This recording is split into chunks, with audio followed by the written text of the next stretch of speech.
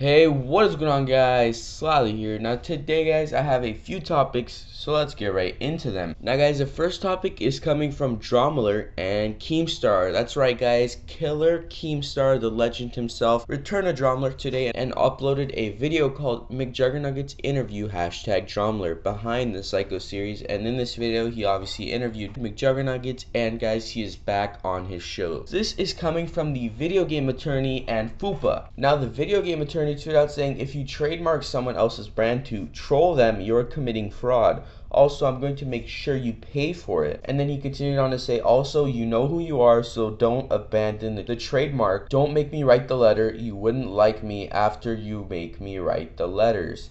So damn guys. Now now even H3H3 responded to the video game attorney saying warning shots. So yeah guys, warning shots are being fired and if you guys are confused about who he's talking about, well, even Rob Dyke's been tweeting about some guy that's been trademarking other people's videos and making money off of them, copywriting them.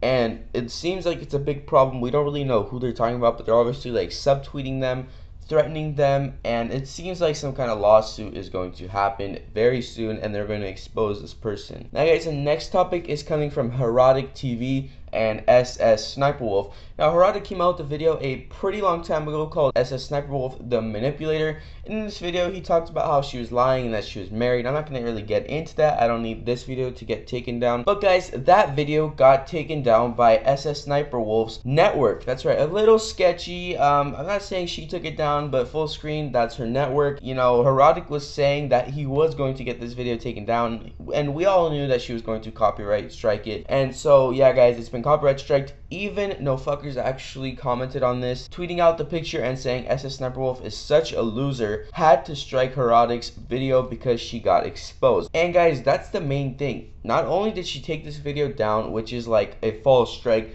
but she also gave this kid a false strike. So now he can't make money on his videos, he can't monetize, he can't have thumbnails. It kind of ruins your YouTube channel when you get a copyright strike and for a stupid reason like this. This is censorship. So yeah, guys, he still tweeted out saying I'd still smash, to be honest. So yeah, guys, I'm Slather, and I'll see you guys in the next news video. Peace. What you want, what you need, you can just call me and we can meet. Cause you know I got it, got it, got it, got it. No, I got it, got it, got it, got it. What you want, what you need, you can just call